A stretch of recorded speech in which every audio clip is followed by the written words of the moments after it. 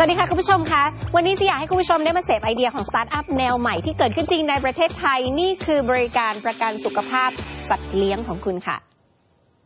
เรียกได้ว่าปีนี้เป็นปีทองของ Insurance Technology ซึ่งไม่ใช่แค่การประกันภัยคนนะคะ ตอนนี้อีกหนึ่งประกันภัยที่น่าจับตามองก็คือ Pet Insure ประกันภัยสัตว์เลี้ยงค่ะ คอนเซปต์ไอเดียของประกันภัยสัตว์เลี้ยงออนไลน์เจ้านี้ เขาต้องการให้เจ้าของหมดห่วงเรื่องค่าใช้จ่ายค่ะ น้องหมาป่วยกระปิดกระปอยแบบไหน ก็สามารถคุ้มครองค่ารักษาพยาบาลค่าอุบัติเหตุรวมไปถึงค่าการเสียชีวิตของสัตว์เลี้ยงได้ด้วยค่ะ ตอนนี้ประกันภัยสัตว์เลี้ยงมี 4 แบบ เริ่มต้นตั้งแต่ 2,000 ถึง 7,000 บาท การคุ้มครองก็ต่างกันไป วิธีสมัครก็เข้าไปที่เว็บไซต์เขาค่ะ สมัครสมาชิกกรอกข้อมูลส่วนตัวของเรา เตรียมเอกสารน้องหมาน้องแมว เช่นใบตรวจสุขภาพใบฉีดวัคซีน รวมถึงถ่ายรูปน้องหมาแมวตามท่าที่เขากำหนดไว้ แต่ว่าสัตว์เลี้ยงคุณต้องมีอายุตั้งแต่ 3 เดือนถึง 7 ปีเท่านั้นค่ะ คุณสามารถนำสัตว์เลี้ยงไปรักษาได้เกือบทุกโรงพยาบาล แล้วนำค่าใบรักษามาเคลมทางประกันค่ะ ตอนนี้สัตว์เลี้ยงที่ทำได้ก็แค่หมากับแมว แต่ในอนาคตคิดว่าน่าจะเพิ่มสัตว์เลี้ยงประเภทอื่นๆมาด้วยค่ะ